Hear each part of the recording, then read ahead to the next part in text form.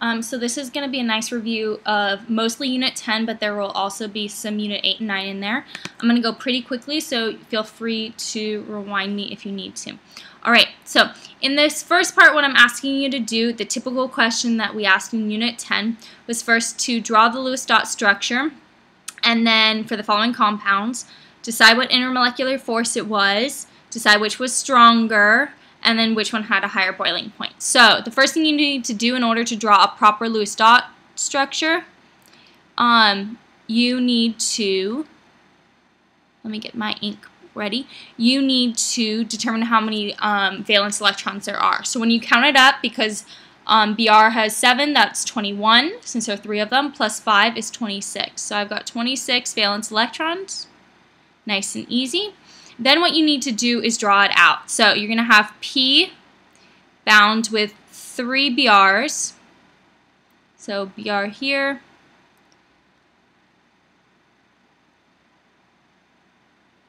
Hold on one sec. BR there, BR here, and BR here. So my computer's taking a second to get used to me writing on it again. Okay. Now, the important thing for you guys to remember, once I've drawn these, they're set in stone. But now I've used only two, because this represents two, two, four, six valence electrons. Now, every compound except for hydrogen needs to have eight valence electrons around it. So what I'm going to do, I'm going to draw lines to represent the, the lone pairs of electrons. Guys, I would prefer that you do did draw dots, sorry, but unfortunately with this program it's really hard to draw um, dots. So I'm going to draw lines instead which represent two valence electrons. So on BR it already has two so it needs four, so two more, four, six, eight, now it has eight, it's happy, two, four, six, eight, now it's happy, four, six, eight, now it's happy, and P, phosphorus, has two, four, six, and it needs two more. Now, if I count these up, it's 2, 4, 6, 8, 10, 12, 14, 16, 18, 20, 22, 24, 26. I've used 26. I'm happy with that. That looks perfect. Now, this compound is polar. Remember, it's trigonal pyramidal. Um, there isn't something up top pulling. Um, there isn't another BR, so therefore it's polar. Um, P is going to move if these are all pulling on it. Therefore, since it's polar, this intermolecular force is dipole-dipole. All right, the next one, I'm going to move along. HBr, there's a total of eight valence electrons. Check that if you don't agree with it. I'm going to start drawing this. I'm going to connect H and Br together. Remember, H only needs these two, so I'm going to leave H alone. Now, Br has two already. It needs four, six, eight. Now, Br is happy. Now, since this is polar, right, there aren't, they're not pulling with the same force. This is polar but it's not between H and FO or N, it's between H and Br. Therefore, this intermolecular force is going to be dipole-dipole again. Now, to determine which one is stronger between these two dipole-dipole, they're not the same strength. Within dipole-dipole, right, the smaller the compound is, the strong, sorry, the smaller the compound is, the stronger its intermolecular force. So therefore, HBr is going to be stronger and I'm not going to write this, guys. You need to write it, though. The reason why, you need to say why, it's because it's smaller. Okay? Write why, or else I'm going to have to take points off on your test. All right? Therefore, which has a higher boiling point? Well, HBr does. All right, next one. We're going to start picking up the pace. Now, NO2, if we just look at NO2, guys, that has 17 valence electrons. But because it has a plus 1 charge, it's going to have 16 valence electrons. So pause this at any point if you have any issues with that and go back and check it yourself. Now, I'm going to draw this like this. Honestly, it doesn't matter how I draw it.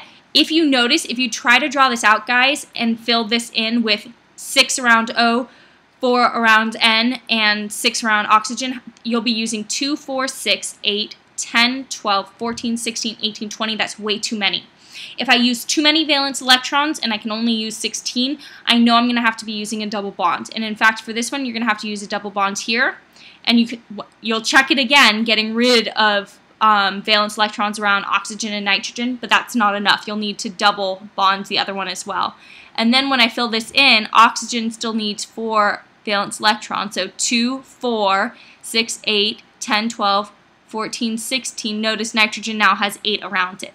So if you look at this, the way I drew it, I initially kind of drew it as bent, but if you notice, this is going to be linear.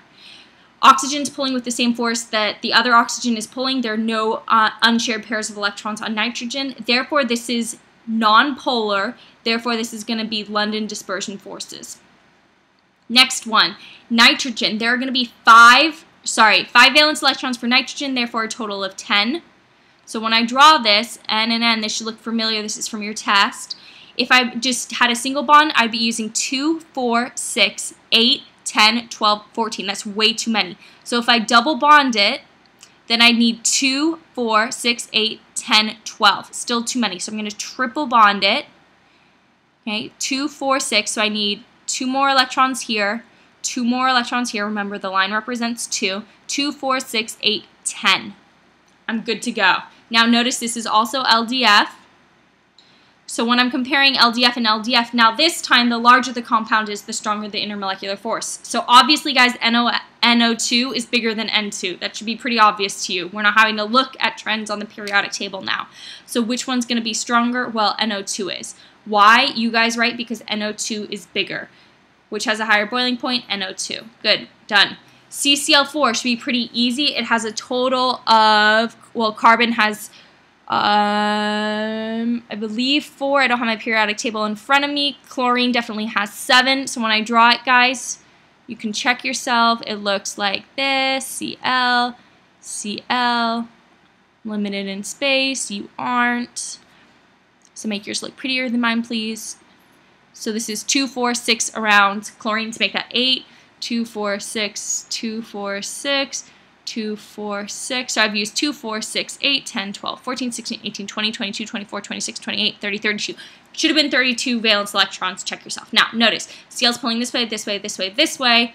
All right, so therefore it's going to be LDF. Okay, because it's nonpolar. This compound's nonpolar. Now for H2, you should have two valence electrons. H2 just looks like that, nice and easy. It's obviously going to be LDF again.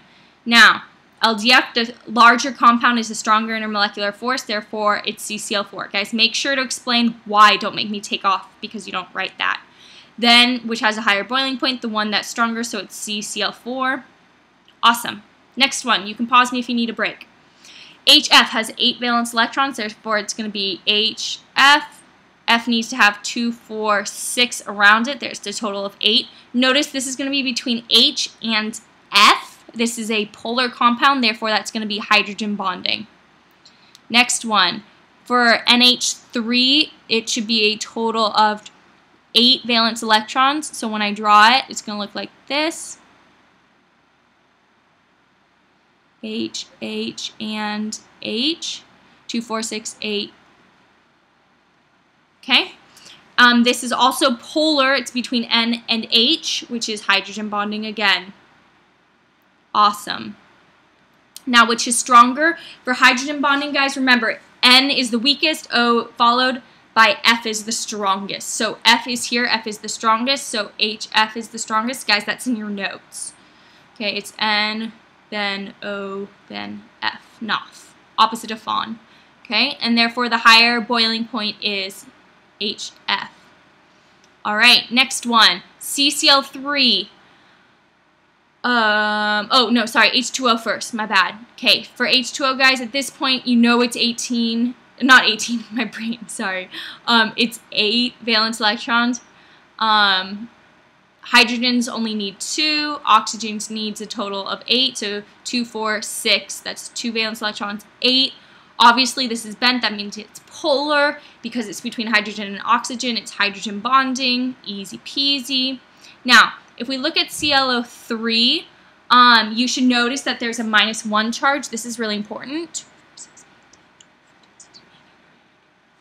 Um, this, I, I, believe ClO3 originally had, so oxygen is um, 6, so it originally had 25. Since it's a minus, it now has 26. Because if it has a minus charge, that means it has one more electron, therefore it's going to have 26. So this is what it should look like. O, O.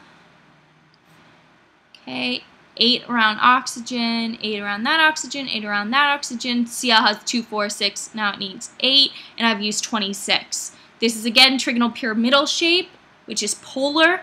It's not between H or F or O or N, therefore it's dipole-dipole. Remember that hydrogen bonding is the strongest. It's stronger than dipole-dipole. Dipole-dipole stronger than LDF, but right now we're just comparing hydrogen and dipole-dipole. Therefore, hydrogen bonding, the H2O is the stronger one, and you can just say that hydrogen bonding is stronger than dipole-dipole in your explanation, and that's all you need to do. Okay? So, which has the higher boiling point? H2O. Good, you're done. All right, for conversions, we're flying through these. Um, I'm in 5 atmospheres. I need to go to kPa, so I'm going to put 5 atmospheres here. Crisscross swoosh. Okay, kPa on top. You're going to put 1 atmosphere on bottom. 1 um, and 101.3 kPa. Okay, if you take 5 atmospheres, you want to multiply it by 101.3, and what you get is 506.5. Okay, kPa. Next, ah, sorry guys, my pen. All right, the next one, you want to convert 205 kPa to millimeters of mercury, crisscross swoosh, you put millimeters of mercury up top, okay, and then you put kPa on bottom. Remember there are 760 millimeters of mercury for every 101.1, 101.3, sorry, kPa. So 205 divided by 101.3 times 760, the order doesn't matter, but you end up getting 1,538 millimeters of mercury. All right, the final one, 550. Okay. Um, you're in millimeters of mercury. In atmosphere, so atmosphere is on top, millimeters on bottom, one atmosphere for every 760. We flew through these. Pause me if you need to, but you get 0.72 ATM, don't forget units, don't make me take off. All right, next page. Pause me if you need a break. We're working on phase diagrams, which should be a nice break from all of this difficult work. The phase diagram I gave you, here's a rough sketch of it. Really rough, sorry. Um, a is going to represent um, your solid, B represents your liquid, and C represents your gas. Um, so that's A, B, A, C, B are your answers here.